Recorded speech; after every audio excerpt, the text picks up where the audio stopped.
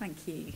So, thank you very much for inviting us. We're delighted to be here because you are our audience for the film, which is great. So, I'm Sandy McBride, and I'm a dermatologist at the Royal Free. And um, I lead with Mark Griffiths quite a big psoriasis service. And as Richard said, we try to have quite a patient centred service, and we also work with rheumatologists, but importantly, a psychologist called Alex Mazzara, who has absolutely opened our eyes to what it's like to experience psoriasis. And so I'm going to talk for about 10 minutes, and then Sarah Sutcliffe, who's a professional storyteller, is going to talk after me, and then we're going to show you the film, which is 11 minutes long, and we'll be really interested to hear your thoughts on it and obviously answer any questions that you have. So, as Carla said, um, the film, which is called um, Psoriasis, The Skin I'm In, which is also a live performance actually as well, was developed as part of See Psoriasis Look Deeper. And for those of you who haven't heard of it, it's a collaboration between the Psoriasis Association and the Mental Health Foundation, but also um, Chris Bundy, who's on the right here, who's a psychologist from Manchester. She works with Richard Warren and Toby Hadoke, who's a comedian and writer and actor, and he also has psoriasis and it comes to the Royal Free for his psoriasis, and then myself. And as Carla said, that we aim with this collaboration to raise awareness of what it's actually like to have psoriasis and the wider life impact of it. So, this project was born out of frustration. So, initially, well, mainly our frustration and frustration on your behalf. So, often when we do the new patient clinic, people have had psoriasis for 10, 20, 30, 40 years before they've ever come to see a dermatologist and before they have access to treatments.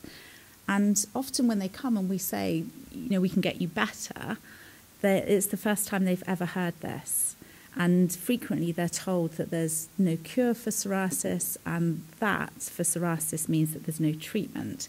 So it's this urban myth gets perpetuated um, by all the people, it seems, that come into contact with people with psoriasis. And what happens is that people then, which I'm sure many of you can relate to, make decisions based on having psoriasis, so their lives become altered. And perhaps people make decisions that they wouldn't have done if they didn't have psoriasis or if their psoriasis wasn't as bad. And then that is it's really frustrating when then you come to see a dermatologist who says actually you can get better. It's like why wasn't I told this sort of 10, 20 years ago? So that's what triggered us into doing a health seeking study. So we interviewed people with psoriasis to ask them what drove them to seek help for their psoriasis. And it was quite interesting findings. And in this group of people, it was 15 years on average before they'd seen a, a dermatologist.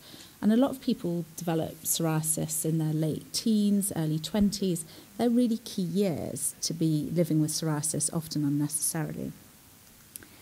And people didn't know. So, so you are an educated group of people with psoriasis here today, but many people aren't aware that there are actually treatments for psoriasis and have been frequently told this as well over many, many years.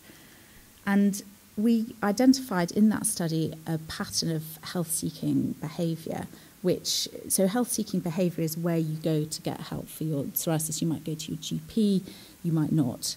And what we found was that there was a common pattern with all the people that we interviewed of the onset of psoriasis, followed by a, a trial and error phase, an acceptance phase, and then a reactive health seeking phase. So, in the onset, so when people first get psoriasis, and this may be true of you, I don't know, but that they tend to like seek help for it. So and, and the help depends on friends and family. So in, in people who develop psoriasis whose family members also have psoriasis, often they don't see a GP, but they'll get creams from family um, members who kind of have some expertise in it. But people who don't have family members with psoriasis, often they're triggered by family and friends to seek help. So if someone says, look, go, go to your GP about this, go and get some help, then they will. And, and then they rapidly seek help. So there's a little window of opportunity there in order to make a change. But after this, people are given loads of creams. They're not properly explained to how to use them. So many people, like people, take photographs of cupboards full of creams, bags full of creams, not really knowing where to put them, what to do with them, and they get frustrated, understandably, with it. But also by being underestimated. So when they go and see GPs or dermatologists, often GPs, dermatologists don't actually recognise what they're going through, and they become really frustrated which leads to this years and years and years of coping. So people cope in different ways. And Richard alluded to that, I think, when he was answering your question, that you'll recognise people covering up. This time of year is difficult, isn't it, when you have psoriasis, because suddenly your coping mechanism over the winter of wearing your long sleeves and long trousers isn't as appropriate when it gets hotter. And people continue to use ineffective creams. And this incurability is cemented. And this can go on for decades until there's something happens. So either the psoriasis gets really bad, so people are triggered to help, or someone again, they might see a new GP or they might develop a new friendship who then they trigger people to seek help.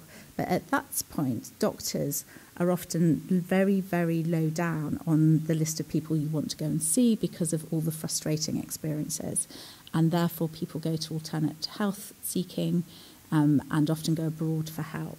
So that was the findings of this study. And what we really want is for people to have timely, effective treatment. So, so Richard's talked about many of these really effective treatments that are available, but unless you get them, they're not very effective in the box or in the pharmacy. So you need to get to them. Um, and to do that, it's actually quite complex. So, so partly depends on you having psoriasis. So, um, going to knowing that they're available, so you can ask for them, and actually seeing a doctor so that you can get referred for them. But also, when you do that, you need to be seeing the right person to be receptive to the fact that you need some treatment. And as we've said, the treatment actually, thankfully, isn't so difficult anymore. But it's even more complex, isn't it? So it's, it's dependent on what's happening at home, family and friends, the infrastructure. So, so Richard um, was talking about Manchester being a, a big unit. You know, we've got a big unit as well. But if you live somewhere else, it actually can be even harder, can't it, to access help, depending on the medical infrastructure around you and also the political climate. So there's, there's a really big drive politically for cancer, which means that health resources are put into curing cancer and having early access to cancer, whereas people with other conditions, which are inflammatory long-term conditions, often politically there's not the driver to have um, people receiving effective treatment early. So looking at the doctors, healthcare professionals, where does it go wrong? Well, I talk quite a lot about the things that we do at the Royal Free, and there are common themes when challenging other units about what they do. And um, people are scared. So, so this thing, this fear of opening a can of worms. So, so doctors, we're very good in our own environment, and if we have to come out of that, sometimes it's a little bit scary. So when a patient comes to you. You want to, to act within your um, safety comfort zone, which is about being in control and not particularly asking what people want. And you look at someone and you make a decision as to kind of how bad their psoriasis is and what they need. And that may actually be totally different to what the person wants or feels they need. So there's a fear of actually going outside the box. And also a fear of asking people about emotional issues as well. So they feel that they don't have the skills lack of time is a massive thing. And also, sometimes people who deal with people with skin conditions, they think, right, I'll deal with the skin, but nothing else. And as we've heard today, there's a lot more to psoriasis than just the skin. And we're really bad about picking up distress, particularly in people with psoriasis, so that, so that we find it really difficult to recognize when somebody is upset or that, that their psoriasis is having a big effect on their lives. And again, as Richard alluded to, psoriasis is a long term condition. But how many times have you been to see someone, they give you a cream, and then they never arrange to follow you up? That's it. And yet, you know, this is a long term condition. If you had diabetes, it would be an absolutely different ball game or high blood pressure, but because it's the skin, it, the importance is diminished. And this mismatch means that there's often frustration, which means that people with psoriasis, because their experience is very different to the way that the doctor or the nurse that they're seeing um, is responding. So you're really struggling, and yet the doctor or the nurse is absolutely diminishing what you have and doesn't recognize that you need to be treated. And understandably, there's frustration, and also then people find it difficult to do what they're being advised to do because they don't trust the person who they're seeing. So, there's two sides to every coin, isn't it? So I think there's a, there's you know we actually find it quite difficult, but there are particular attributes of people with psoriasis that also contribute to it. And I don't know if some of you might recognise these things, and these are partly from some other studies we've done. Um, so people with psoriasis often find it difficult to talk about emotions. Is this, are there family and friends here of people with psoriasis? So this is, this is very common that if you say to somebody with psoriasis, how do you feel? It's a really difficult question to answer. And people in clinic do a classical thing. So if you say, how do you feel? They go like this because they feel really uncomfortable because often people don't have the language for emotion. So there's no point in asking the question. Whereas if I were to ask you, how's your life affected by psoriasis or how would your life be different if you didn't have psoriasis, it would be a much easier question to answer. And that means it's really difficult for doctors to pick up actually how you're feeling. And the other thing is that people with psoriasis think something bad is going to happen. So even if there are treatments available, they think that that, that it won't work for them or there'll be a problem with it. So, so one of my patients, who's, who's a very eminent businessman, he says that every time he drives home, he thinks his house is going to be on fire. And it, it's a problem that even when people are better, they fear getting it coming back, so so can't enjoy that thing, and and it's just a way that that people with psoriasis think. But unless you know that as a clinician, then then you you have to be really positive being the doctor with when suggesting treatments and and be enthusiastic about it and support people because otherwise they won't work if you don't take them. And the other thing, people with psoriasis tend to find it difficult to ask for help. So, which you again might recognize within yourselves that that tend to be really self-sufficient and not want to bother anyone else. That's why people with psoriasis are really nice. That's my best clinics, the psoriasis clinics, because um, people find it really difficult and often feel they don't even deserve help. And these beliefs are firmly embedded. So, simply doctors often know in theory about treatments, but they don't necessarily act in order for people to get the treatments when they need them. And people with psoriasis are often not aware of available treatments, and they find it difficult to act because of the reasons I've said, and also to communicate actually what they are experiencing and how bad things are for them, which then means that the doctor doesn't act either. So, we have an opportunity for change. Nothing is ever as it seems. So, and with that first slide, do you remember we talked about that at the beginning when people actually seek help, I think is a real opportunity for change. And key to that is family and friends as well. So, what we thought is people do care. So, I don't think doctors don't act because they don't care, which obviously it can seem like that. I think it's because they don't truly understand what it's like. And if we were to educate people as to what it's truly like to have psoriasis and what behaviours from clinicians, and before this project, I had no idea how important the consultation and your your relationship with doctors is to the individual people till I read the interviews that we did. Um, and, that, and simply that treatments are available so if we could communicate that treatments are available and what it's like to have psoriasis, I think that both friends and family would act and doctors would act and people with psoriasis would seek help. But to do that, we need an educational tool and we need an educational tool that changes behaviour as well. Um, and it needs to be suitable for a wide audience because we know it's not just doctors, it's not just people with psoriasis, it's friends and family as well. And because it's a See Psoriasis Look Deeper initiative, we like it to look pretty and we wanted it to be a piece of art so that it was enjoyable in an aesthetic way um, as well for people. So, in thinking about this, what came to mind were Sarah and Danny storytellers, obviously. So I went to see a couple of storytelling performances which Sarah and Danny did who are in the film and was absolutely blown away with how they made me feel and also that way of communicating a message. And I wondered whether it would lend itself to communicating the message of what it's like to have psoriasis and that there's treatment available. So I'm going to hand over to Sarah Sutcliffe, who's the storyteller, and she'll tell you her part in the journey.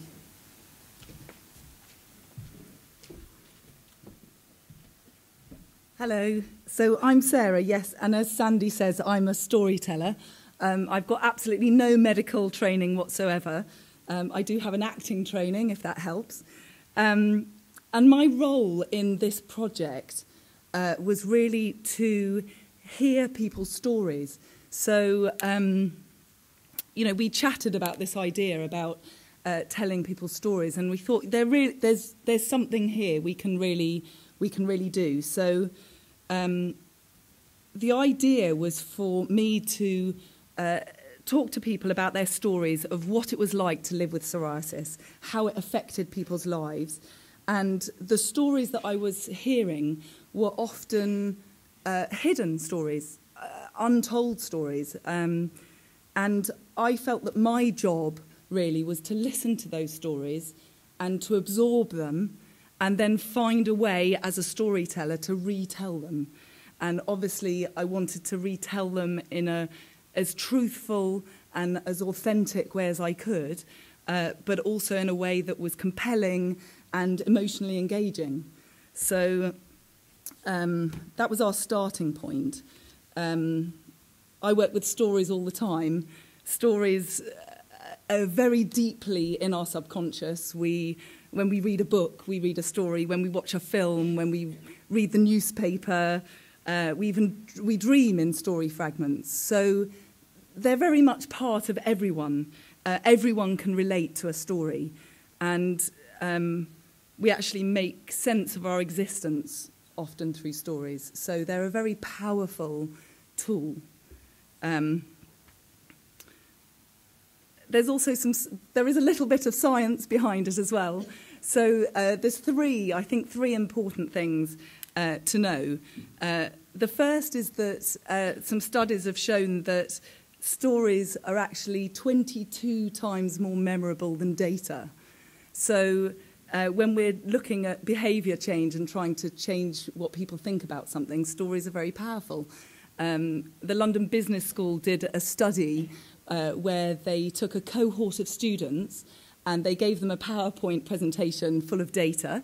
And six days later, they asked those students how much of the data they remembered, and only 5% of them remembered anything.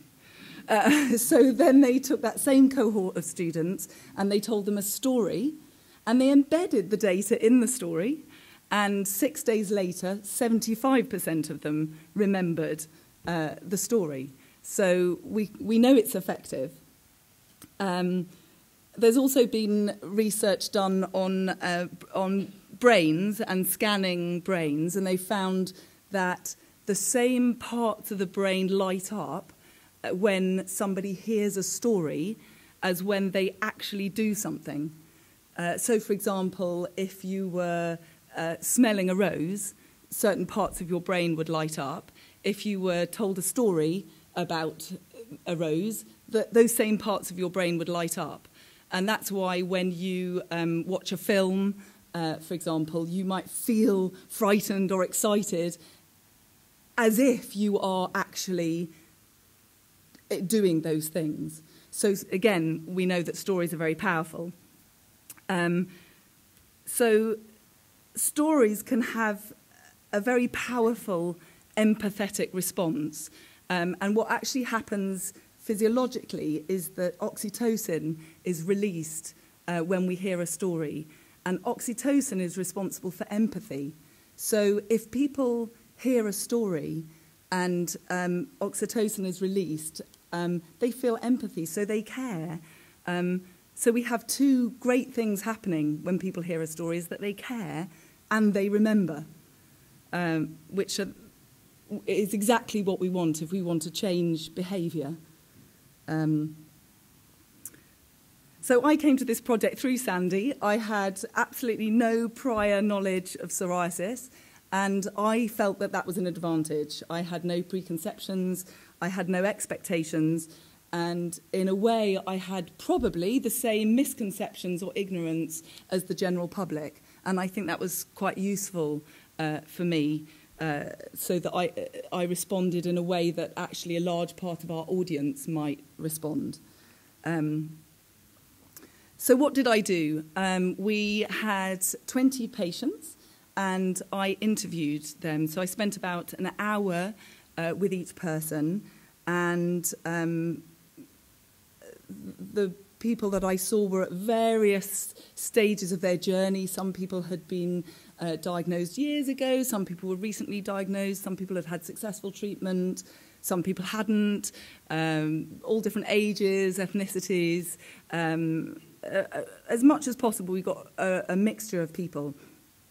And through using a, a loosely structured questionnaire, uh, I asked them and we chatted about all different aspects of life. So practical issues, um, emotional impact, sex life, people's beliefs about psoriasis, uh, their interactions with healthcare professionals, all sorts of different things. But the most important thing for me was that I was asking people to tell me their stories, to actually tell me what what happened. So uh, I wasn't if maybe we could say people feel stigmatized, but I say, well, tell me what happened.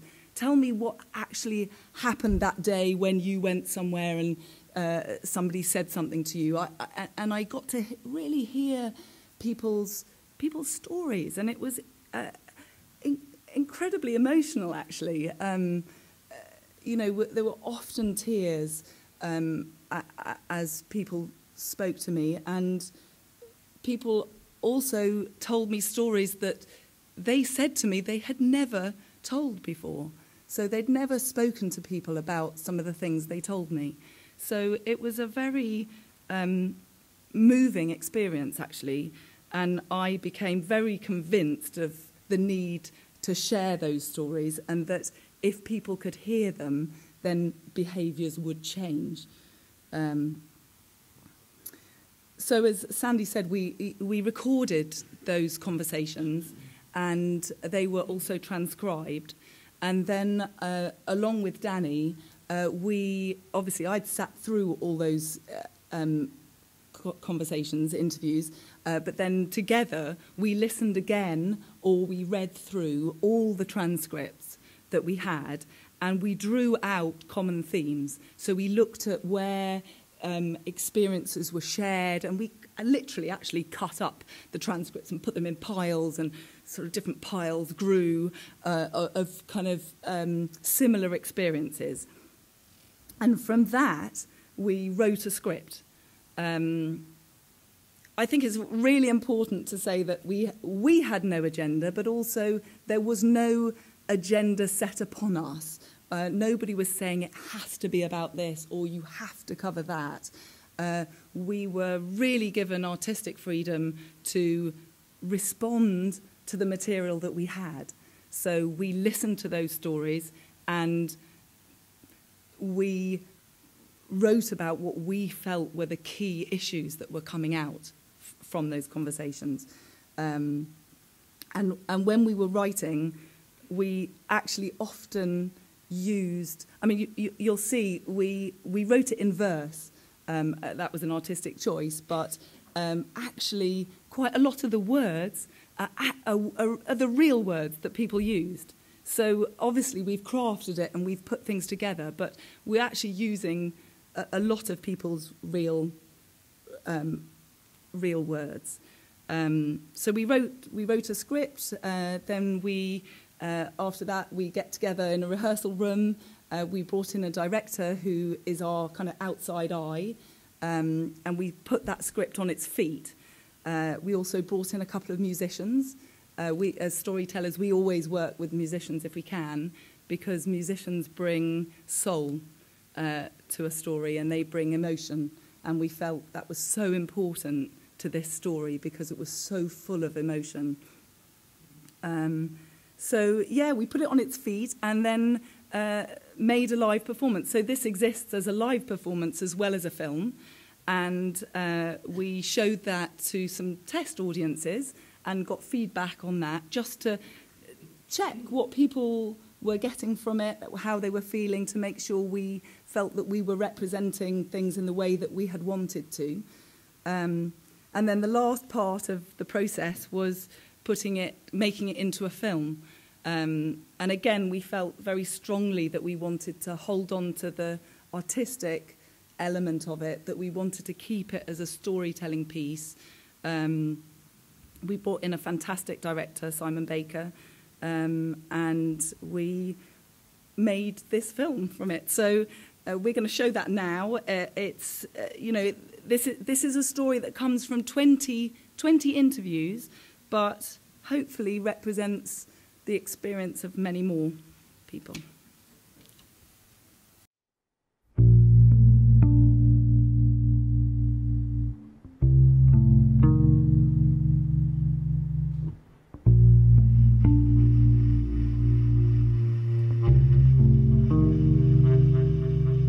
Do you want to know what it feels like?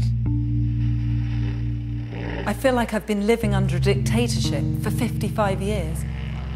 Volatile, controlling, oppressive. I've lived like this since I was eight years old. I'm 42. I feel like I'm being followed by a dark presence. I didn't know anything about it till five years ago. It just crept up on me. I'm 16. I think I've been cursed. I feel like a dirty, grubby bug is crawling all over my skin, secreting on me. I'm 29. For me, it's like an old widow dressed in black. It's clinging to my shoulders, refusing to let go, holding me back. We're talking about psoriasis. What even is that? Hard to spell. Hard to say. It's a skin condition, okay? When you rot from the inside, people care. When you rot from the outside, people stare. Are you contagious? Think that's outrageous? I was sitting on the bus a long time ago, dressed from head to toe. I always dress from head to toe, wouldn't want anything to show. But that day I had it on my hands, thick like the skin of a rhino. This man sits next to me, and out of the corner of my eye, I see where his gaze lands. Within a second, he's on his feet, down the bus to another seat. That day, I wanted to die. I never take off my top, never wear shorts, no matter how hot. But at Center Parcs, the kids wanted to swim. They begged and begged me to jump in, so I did. The chlorine made it bright red, but my skin wasn't flaking, no crumbs from my head. There were days when I shed, but not that day. That day, just red on my back and my chest, my legs, knees, and the rest. Anyway, I'm having some fun with the kids when I see the manager walking around the pool. What's wrong with your skin? Psoriasis, I say to him. I give it its name. What even is that? He's not to blame. It's always the same. They don't teach it at school. We've had complaints from other parents. It's not contagious. It won't spread. They'd like you to leave. So I heave myself out of the water in front of my son and daughter. I feel humiliated, just devastated. But this is what's never stated how it eats at your soul and your self esteem. The next day, I buy a full body wetsuit. And the lifeguard says to me, Why are you wearing that? I must have looked like a prat. Whatever you do, you lose. I smiled at him and said, It's to hide the tattoos. My daughter didn't want to kiss me. She's only five. She said, There's something wrong with your face. I went to give her a hug, and she moved her head back. Like that. I'm a mother. And a wife. I feel guilty I let this affect my life. I won't let him run his hands down my legs. No, not even if he begs. He says he doesn't mind that I'm all scale and rind. But sometimes it's under my breasts, in my crotch, notches and blotches. I don't feel sexy. All through the night, I itch and scratch and rub my feet. When I wake in the morning, there's blood on the sheets. There's handfuls of skin in the cotton, the carpet by the bed's white with rotten flakes and scaly scrapes, the grated cheese of the molting disease. I vacuum and clean every day. He says nothing. I mean, what can he say? But one day I gave him a cuddle on the couch, and afterwards I spied him wiping it down. He didn't flinch or frown, he just wiped it down. The skin from my crown. What if he leaves me for someone with smooth skin? Someone who lets him in? You're lucky you've got a mate. I'm too scared to date. But hey, it won't kill you. It's psoriasis. Hard to spell. Hard to say. It's a skin condition, okay? At least it's not cancer. You won't die. So hide your sorrows. Try not to cry.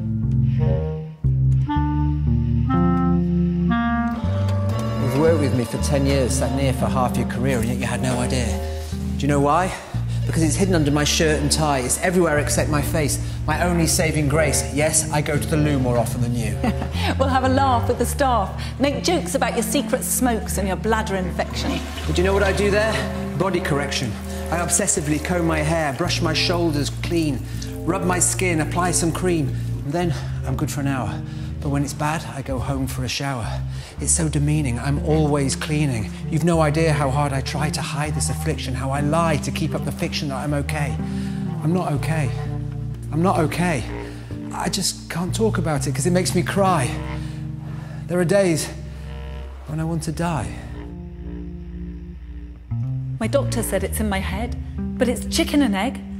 I didn't get this because I'm stressed. I got it and then got depressed. Don't get me started on doctors and GPs. They know even less about it than me. Most of them haven't got a clue. They've no idea what to do. Take this cream. Apply it from head to toe. And it might go. We have a lotion. A potion. And if that doesn't work, we don't have a notion.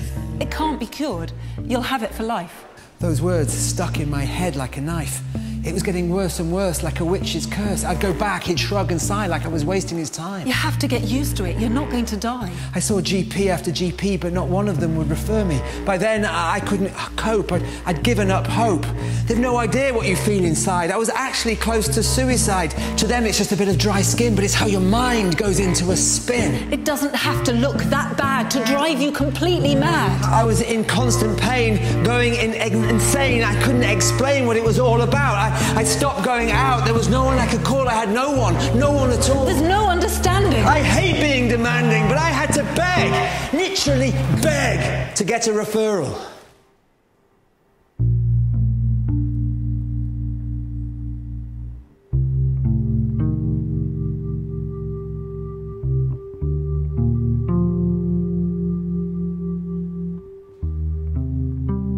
At last, I got to see someone good someone who actually understood.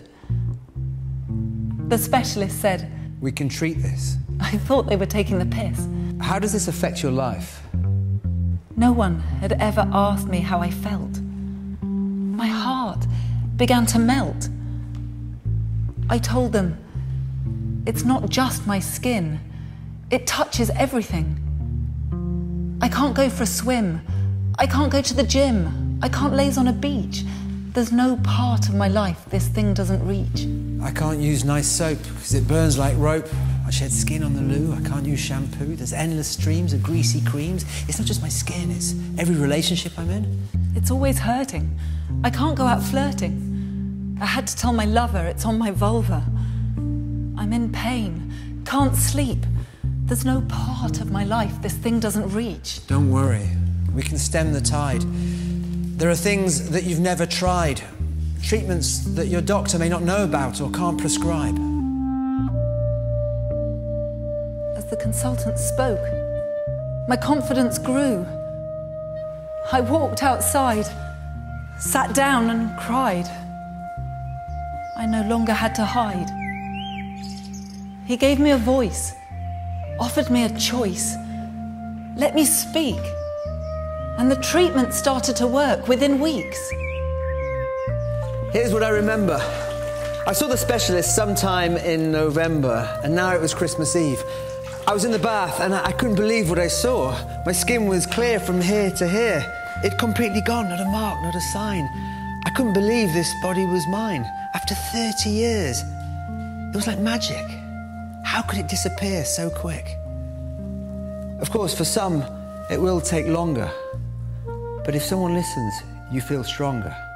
Yes, it comes and it goes, but my self esteem grows. I looked at my skin for what felt like an age. All my life I'd been locked in a cage, and someone had opened the gate.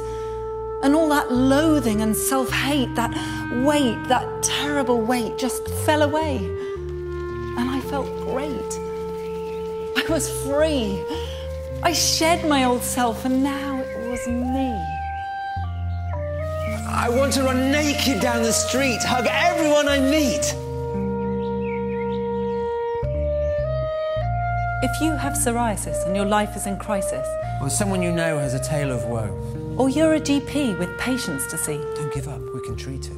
And yes, we'll, we'll beat, beat it. it. There's no cure, that's for sure. But you need to know you can make it go. For 10 years, I've been more or less free. I control it. It no longer controls me.